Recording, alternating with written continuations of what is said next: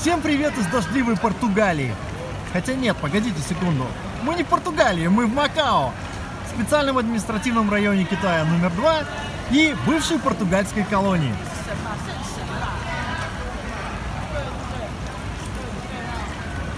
Мы находимся в историческом центре города, который является собой наследие,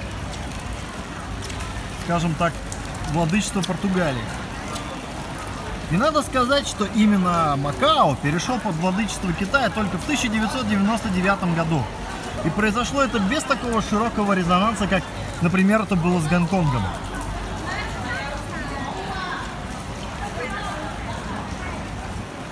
Ну, разумеется, поскольку это бывшая португальская колония, то большинство надписей тут продублировано на кантонском и, естественно, на португальском.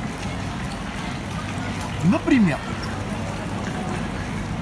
но проблема, пожалуй, в том, что на португальском в Макао уже давненько никто не говорит за ненадобностью.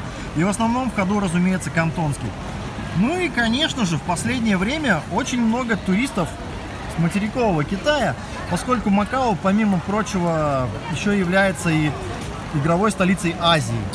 Поскольку на территории материкового Китая азартные игры находятся под запретом, хотя, безусловно, есть свои моменты, как это можно обойти, в Макао казино абсолютно легальные, их здесь много.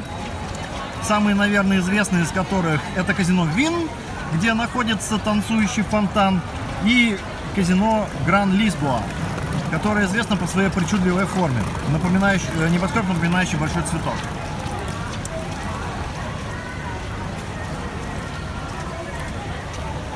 Да, не повезло. Достал меня дождь. Ну и возникает вопрос, а как сюда, собственно, попасть? Если вы едете из Гонконга, все довольно просто. Вы берете турбоджет Макао, это катер на подводных крыльях, и спокойненько доезжаете на нем сюда.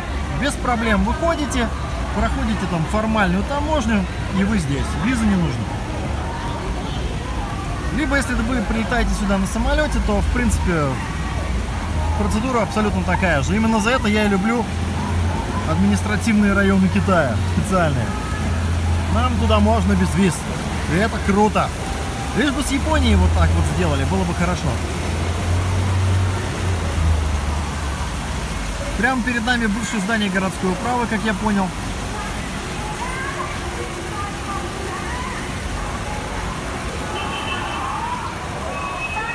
Покажу вам улицу с другой стороны.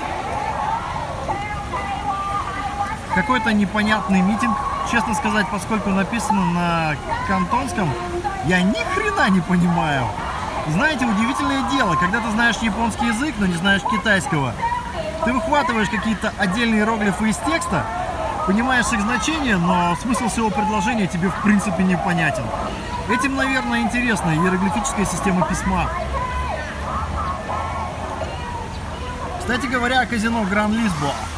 Если видите вот это вот желтенькое здание вдали, это оно и есть.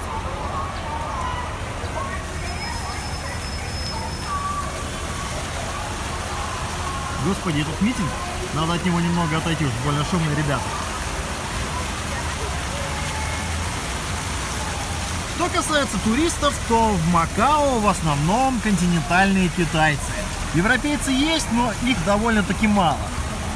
Ну, скажем так, все это больше связано с тем, что китайцы это офигительные фанаты азартных игр, и остановить их очень трудно, если не невозможно.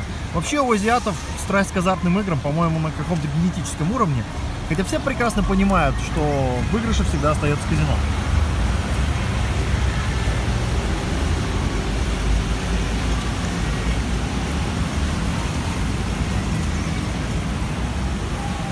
Общем, если вы поехали в Гонконг, хотите посмотреть что-то еще, то я очень вам советую потратить, э, получается, 340 долларов э, туда-обратно на билет и посетить Макао, хотя бы на один день. Посмотреть на этот, скажем так, край казино, по объему, собственно, оборота денег, давно произошедший Лас-Вегас. Ну и посмотреть на былое наследие португальской колонии, которой здесь, конечно, уже давно нет. Но, тем не менее, европейское влияние тут чувствуется. И здесь таки довольно прикольно находиться. Чу- чувствуется какое-то веяние давней истории. Ну, на этом все. И увидимся в следующих выпусках. Всем пока!